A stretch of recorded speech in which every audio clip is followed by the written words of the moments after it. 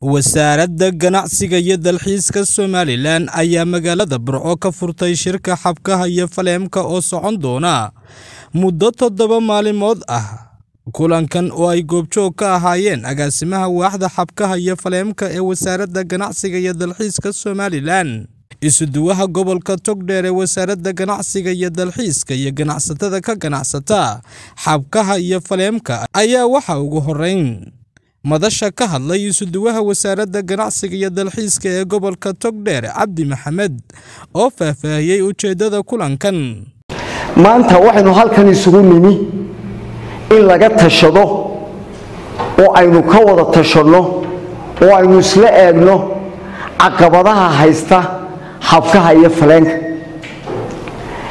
gobolka togdheer wuxuu ka mid yahay meelaha ugu waaweyn ee lagu kala iibsado xabkaha waxaa jooga shirkado badan oo ka ganacsada xabkaha oo ka keena meelo kala duwan. Oo ay xitaa ka mid yihiin waddamada aynu jaarka nahay. Xabkaha iyo faleenka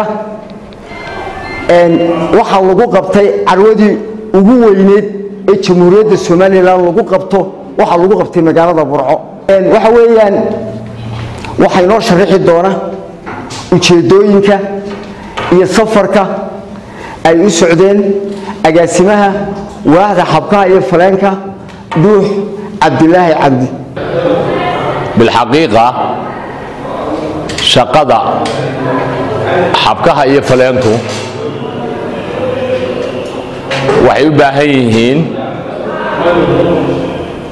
baahiyo badan agaasime inaad ogaato baahiyahooda inaad adiguna si aad uga ribood bixiso uga warbixiso ama hay'ad ha noqoto ama dowlad ha noqoto ciddii caawin lahayd. Halkan maanta waxaynu isugu nimi shiir labageesooda waa xukuumaddeenni oo ay hubmuutay wasaaradda ganacsigu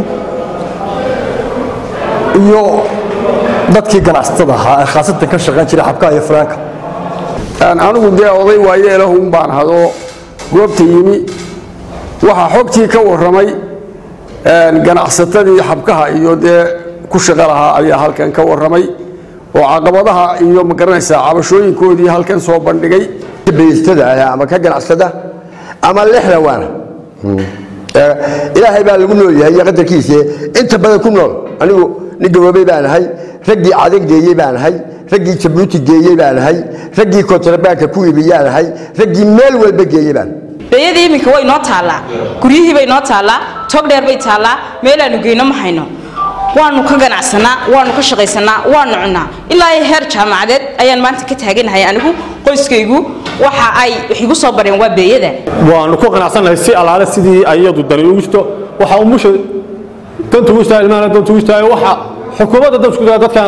ugu dambayn agaasimaha waaxda xabkaha iyo faleemka ee wasaaradda ganacsiga iyo dalxiiska somalilan dhuux cabdilaahi cabdi oo kulankan ka hadlay ayaa ka warramay ahmiyadda uu kulankani ku fadhiyo. Marka hore mar labaad iyo mar saddexaad baan waan idin salaamayaa waana idin soo dhaweynaya aad iyo aad baan idin soo dhaweynayaa shirka aanu idin iclaaminay ee aanu idinku yeedhnay haddii aad naga aqbasheenoo aadna soo ajiibteen aad iyo aad baad u mahadsantihiin annagu waxaanu ka soconnaa wasaaraddii ganacsiga iyo dalxiiska. Khaasatan waxaanu nahay waaxdii xabkaha faleenka u igmanayd aniga iyo tiim aan la socdaa. Sida boorkan iga dambeeya aad ku aragtaan waxaanu annagu kormeer ku maraynaa xaqiiqa raadin ah gobollada togdheer iyo sanaag. Labadaa gobol oo ay xababtu midna ka baxdo midna ganacsigeedu ugu fara badan yahay. Sida aad la socotaan ilaahay subxaana wa tacaala wuxuu inagu manaystay khayraad xabkeed oo noocyo aad u fara badan leh oo runtii adduunyada aan laga helin khayraadka ku yaalla somalilan ee xabkaha ahi. Adduunyada inta uu ku yaalla aad iyo aad bay yartaha caddaan iyo madowga waxaad se moodaa ka ummad ahaan innaga khayraadkeenna inaanu inoo muuqan ayaad moodaa. Sababta oo ah ganacsiga aynu ka ganacsanaana aad iyo aad buu u kooban yahay. Caqabadaha aynu ku haynaana aad iyo aad bay runtii u fara badan yihiin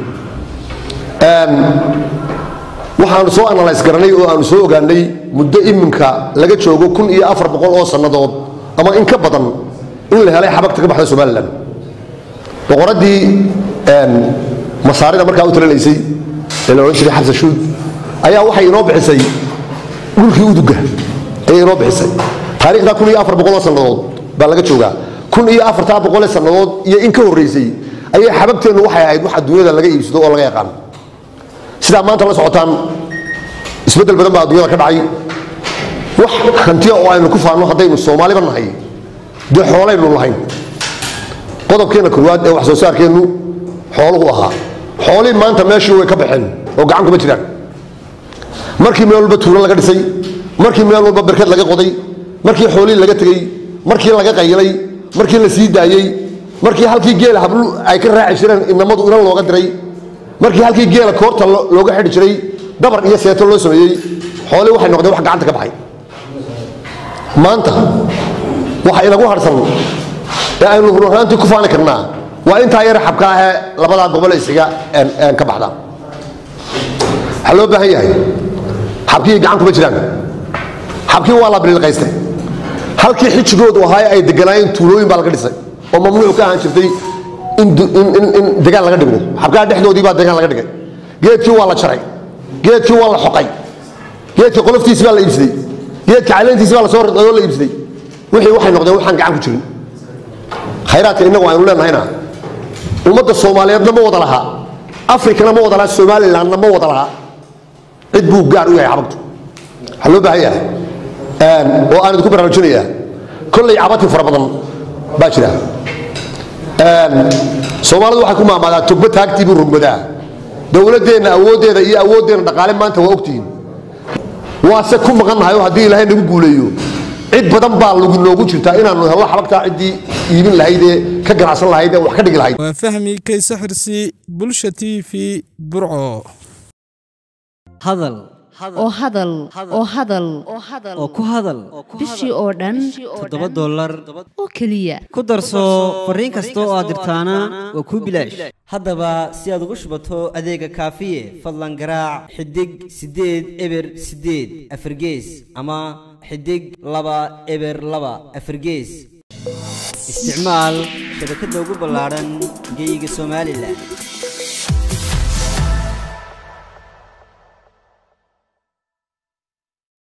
ka farxi ehelkaaga asxaabtaada iyo qaraabadaada.